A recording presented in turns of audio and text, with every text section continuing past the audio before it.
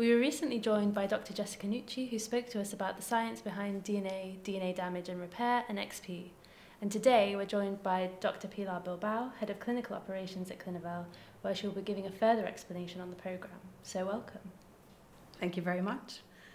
After the explanation on the scientific details of the program, uh, uh, as the head of uh, operations of the DNA repair program, I would like to give a bit more detail on, the, on what we are trying to do uh, with, uh, with the program.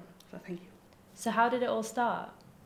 So in drug development, you first need capable physicians, you need academics with certain expertise, and patients who want to participate in clinical trials. Everything started in 2020 with one xeroderma pigmentosum patient, and we've just released the, the first XPC results on the 16th of January, and then on the 2nd of February, we, we released the first results from the healthy volunteers.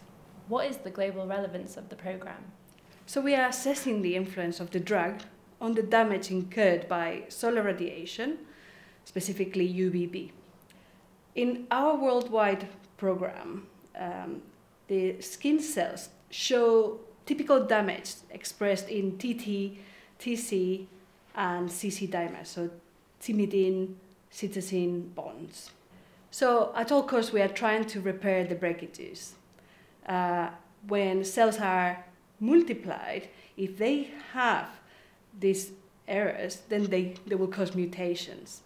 And in skin cell um, carcinomas and melanomas, uh, these uh, single strand lesions are found. So if you can imagine a tree uh, and its roots, what we're trying to do is uh, cut the problem from its roots. We are stopping the oxygen so that uh, the, it does not become a shoot.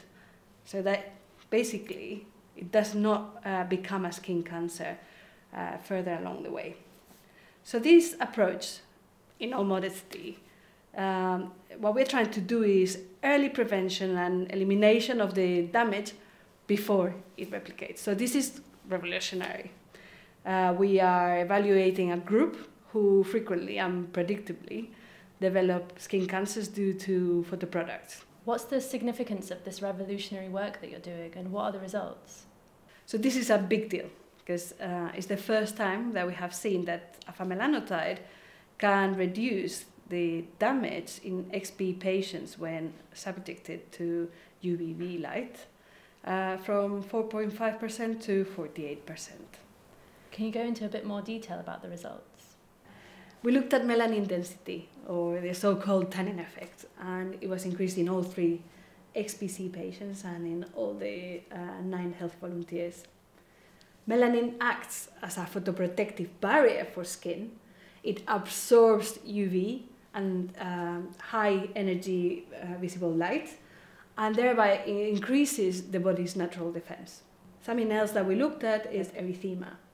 Under standard laboratory conditions, we use controlled light sources.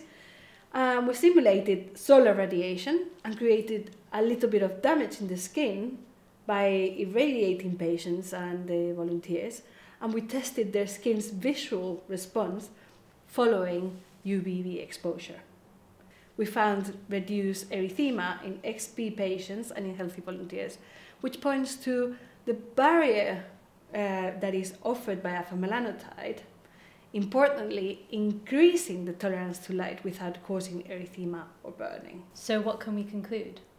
No, we only have the results from three XPC patients uh, and the healthy volunteers, but the combination of the analysis strongly indicate that afamelanotide offers genomic protection by assisted DNA repair and systemic photoprotection.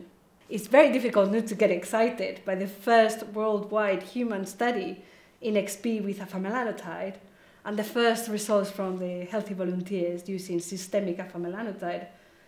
So let's continue. Those results sound really promising, and thank you so much for taking the time to sit with me today. Really appreciate it, and I look forward to speaking to you soon. Thank you.